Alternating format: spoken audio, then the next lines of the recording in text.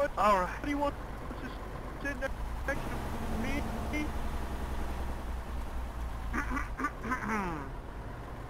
we shall begin.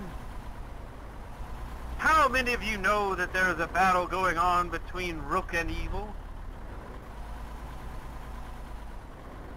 I do! Yeah, woo-hoo, woo-hoo. There is an old saying that there's no better offense than a good defense of a 9 millimeter hot piece of lead piercing the flesh of those who have All wronged oh, hail you. the rook!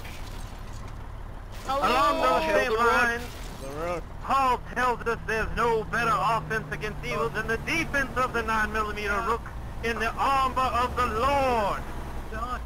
All hail the rook! This armor is not for defense purposes Oh, only. the It is rook. actually the 9 millimeter bullets that load the gospel gun of rook and All Satan. hail the rook! And yes, Hail. God has a 9 millimeter rook gospel gun, and he has some holy bullets. But we are the Oh, ones who pull the the, trigger. You want victory over fear, over hell, over sin, over the grave?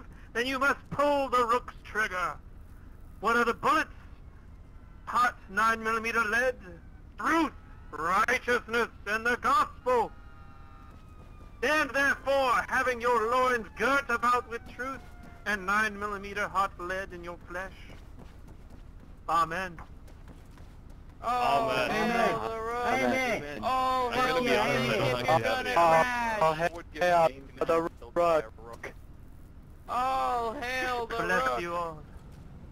Oh, Bless you all. hail the rock. Sir!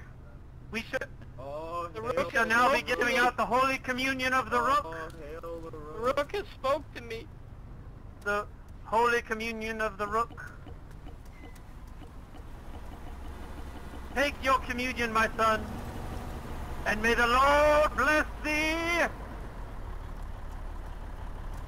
Amen. Amen, I say to you. May I the Lord be hold with it you. in!